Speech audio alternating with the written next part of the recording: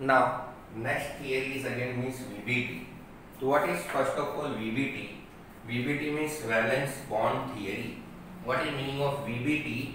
VBT means valence bond theory.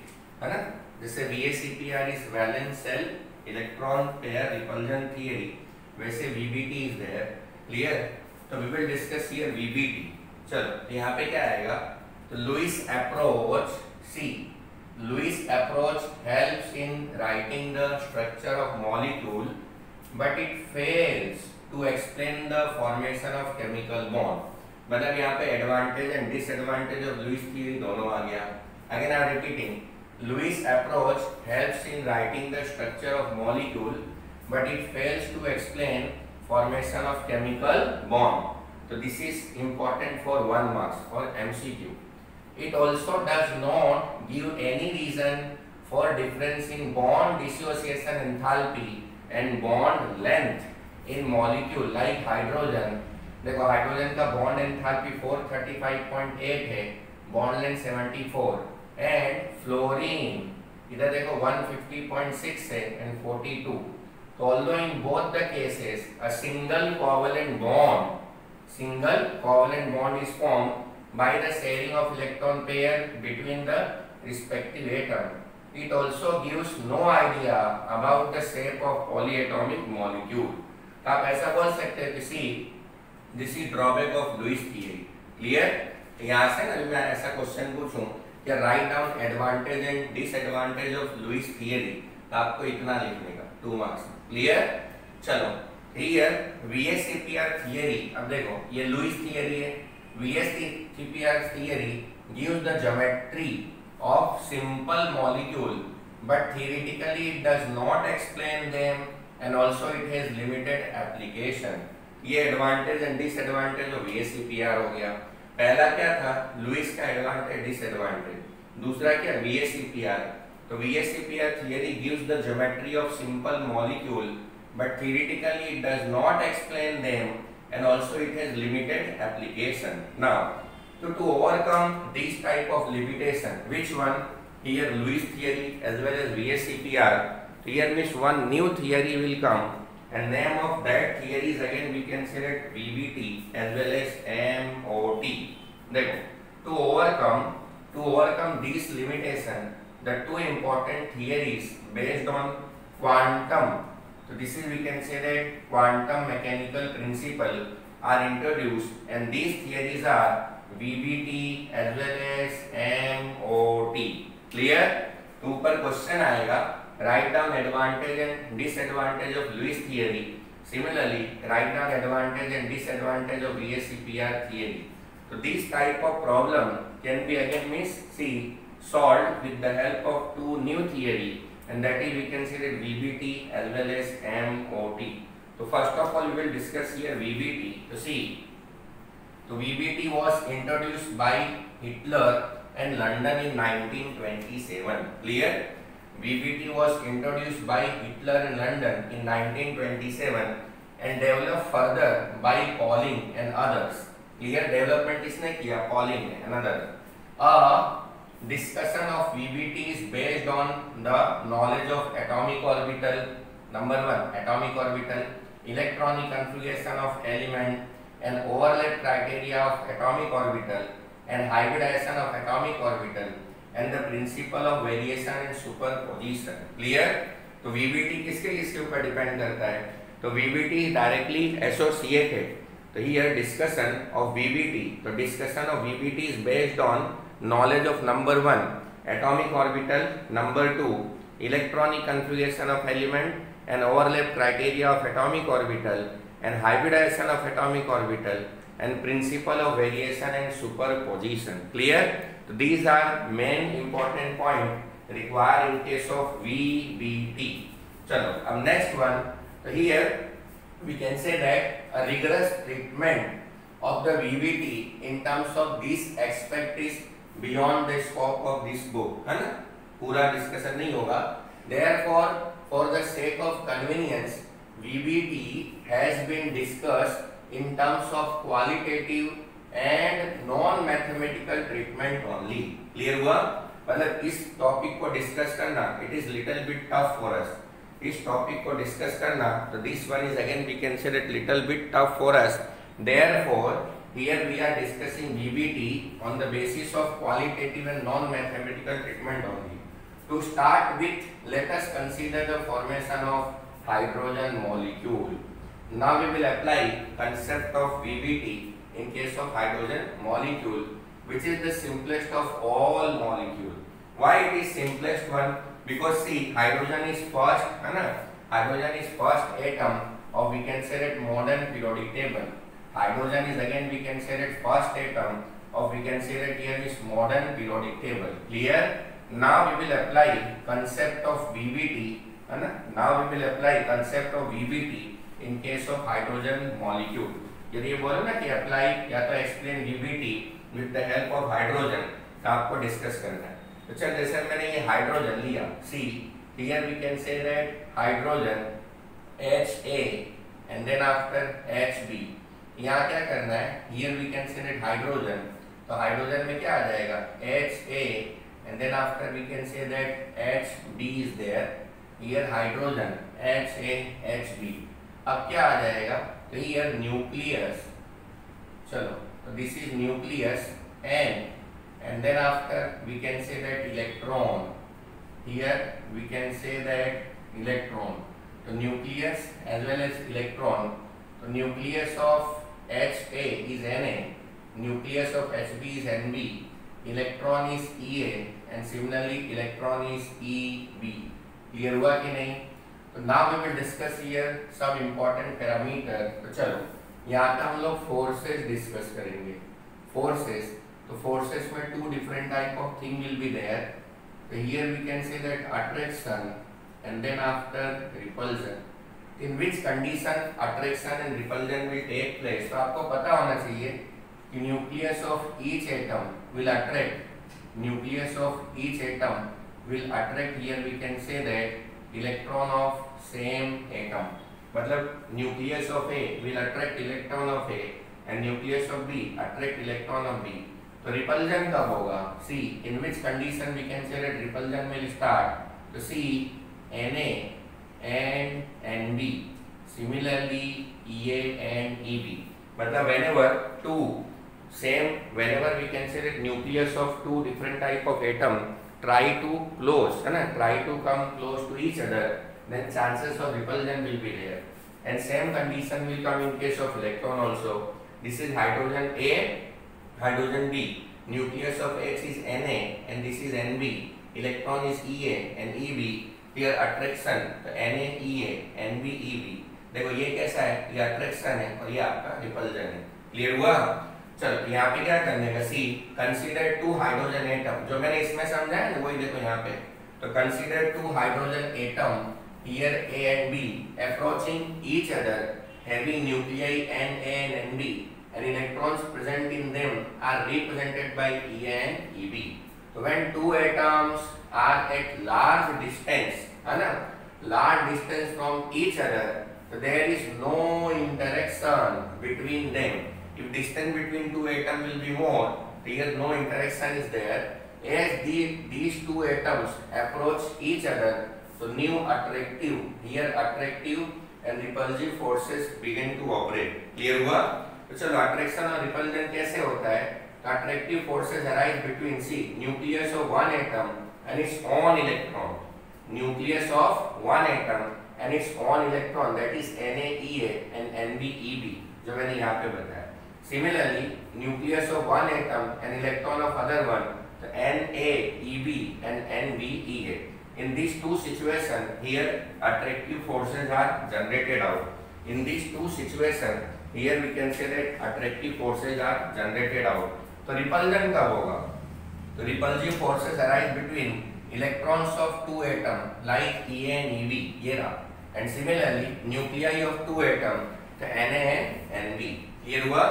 अब चलो अभी फिगर है फिगर तो फिगर में हम लोग क्या करेंगे we will discuss here attraction as well as repulsion ये एच ए है, ये एच बी है ई ए है और ये आपका क्या आ जाएगा? Here E B will be there clear यहाँ पे देखो अट्रैक्टिव फोर्स तो this will represent attractive and this will represent repulsive forces यहाँ पे जो डॉटेड लाइन है तो this will represent old force and जो सॉलिड लाइन है this will represent here we can say new force तो whenever अभी मैं ऐसा क्वेश्चन पूछूँ कि यार explain VBT with the help of figure for hydrogen atom आपको फिगर बनाने एंड यहाँ पे attraction and repulsions are given तो चलो, अब क्या आएगा?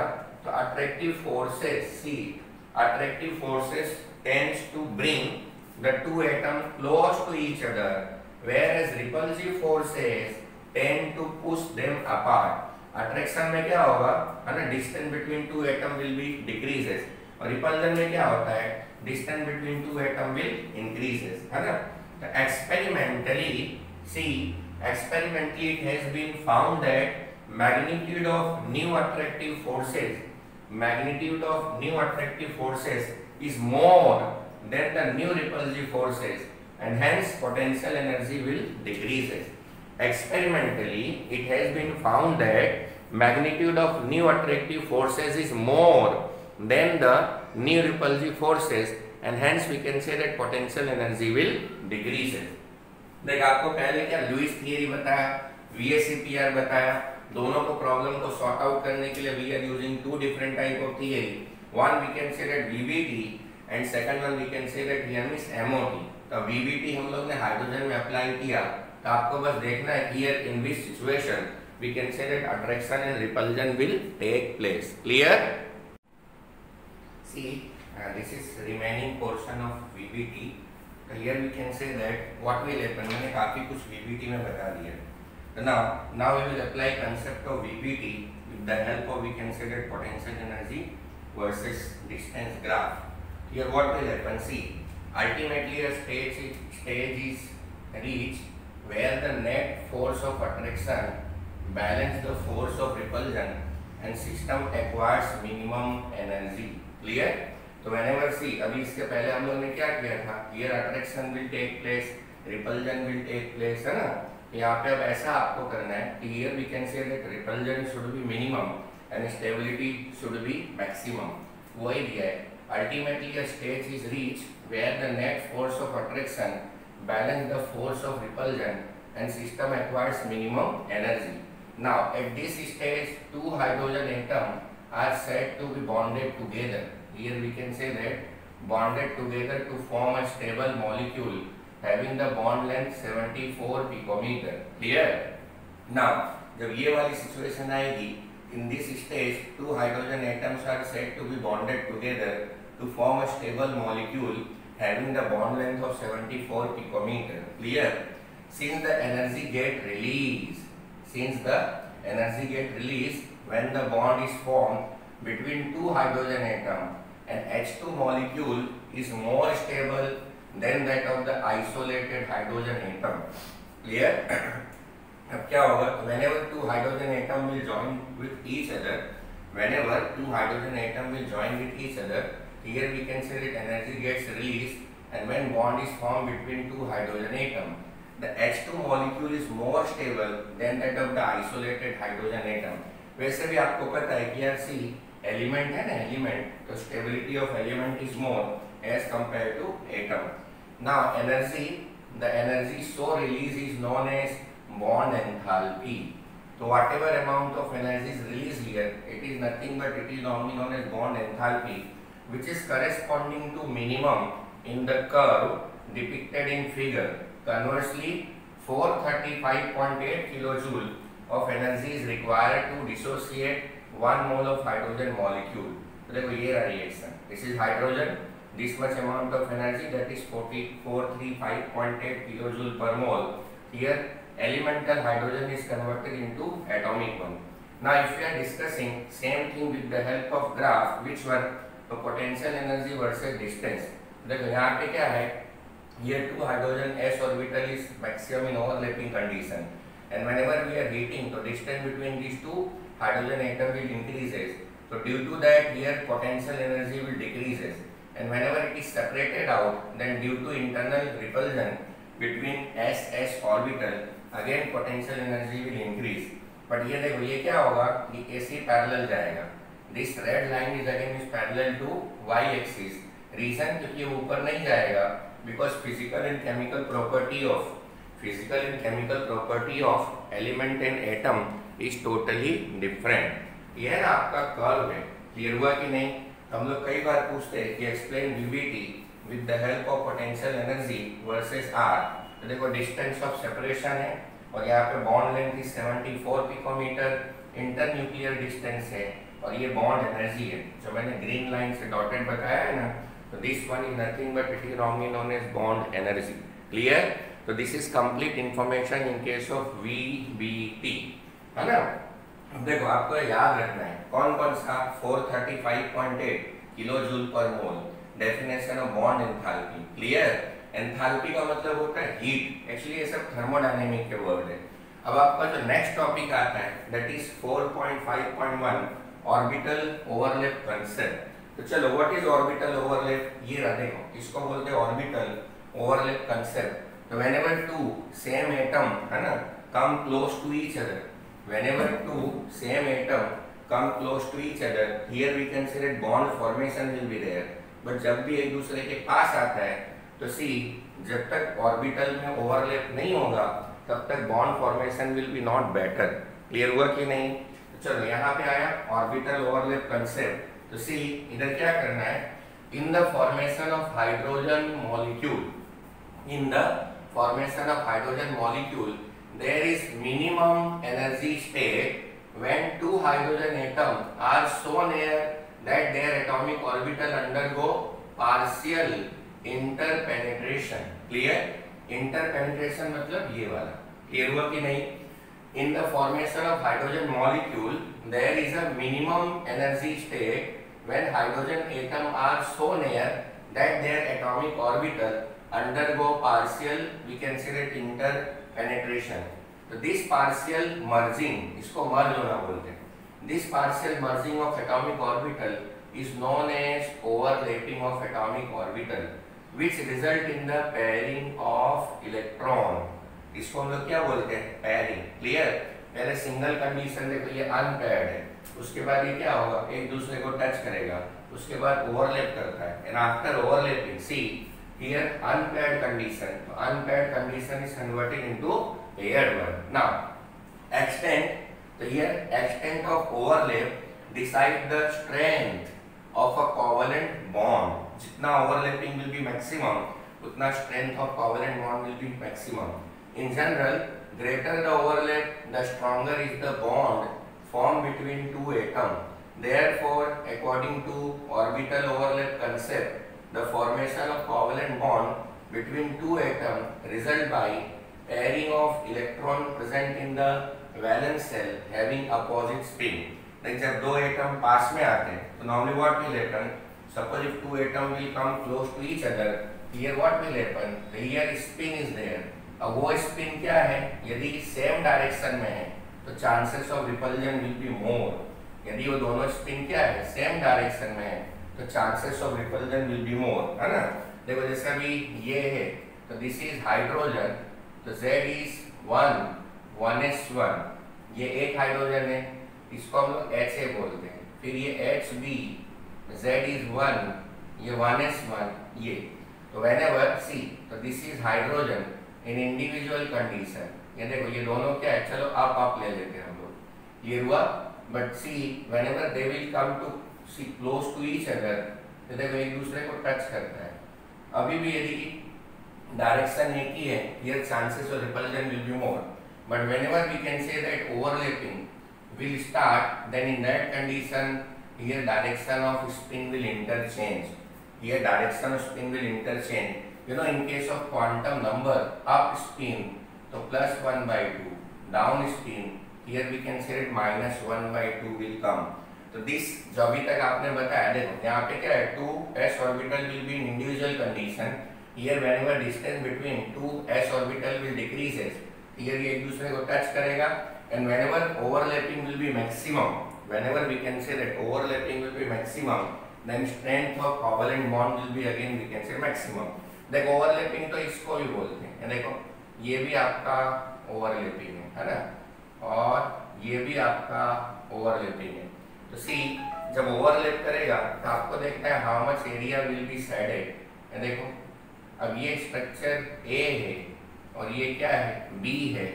तो stability of B is more as compare to A है ना? तो वही सब यहाँ पे दिया हुआ है. Clear stability of structure B is again we can say that more as compared to we can say that here means a. ठीक है? अब चलो. अब नेक्स्ट टॉपिक आता है डायरेक्शनल प्रॉपर्टी ऑफ़ बॉन्ड तो formation of covalent bond depends on overlapping of atomic orbital याद रखना।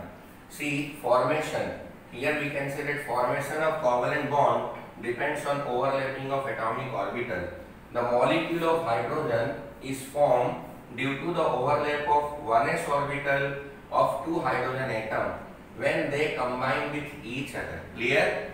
again i am repeating the molecule of H is formed due to the overlap of 1s orbital of two hydrogen atom when they combine with each other clear अब चलो in case of polyatomic चल ये था hydrogen तो covalent था in case of polyatomic molecule like CH4 ammonia and then after water the geometry है ना the geometry of the molecule is also important in addition to the bond formation Example CH4 is tetrahedral shape and HCH bond angle is 109.5 degree clear हुआ मैंने hybridisation आपको बताया हुआ है तो the VBT explain the formation and directional so what what is importance of VBT so this will explain formation and directional property of bond in polyatomic molecule like CH4 ammonia and water etc in terms of overlap and hybridization